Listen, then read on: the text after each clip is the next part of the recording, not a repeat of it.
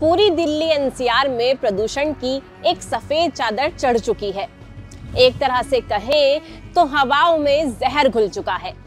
Temperature में गिरावट के साथ अब दिल्ली में स्मोक प्लस फोग मतलब स्मोक देखने को मिल रहा है। साथ ही यमुना भी अभी तक साफ़ नहीं हो पाई दिल्ली सरकार से। यमुना को साफ़ किया जाएगा।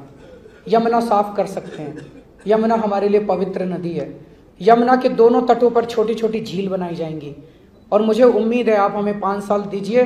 पाँच साल में यमुना को इतना खूबसूरत बना देंगे कि आप अपने बच्चों के साथ पिकनिक मनाने के लिए यमुना के तट पर जाना शुरू करेंगे। अगर हम बात करें कि पिछले आठ सालों में दिल्ली सरकार ने क्या कदम उठाए हैं दिल्ली में प्रदूषण कम करने के लिए तो पहला, दिवाली को निशाना बनाना और दूसरा, पंजाब के किसानों पर जमकर इल्ज़ाम लगाना। जहाँ एक तरफ़ दिल्ली देश का सबसे प्रदूषित शहर बन चुका है, वहीं दिल्ली सरकार कोई ठोस कदम उठाने के बजाय बस बहाने बनाने में लगी है। वैसे ये कोई नई बात भी नहीं है।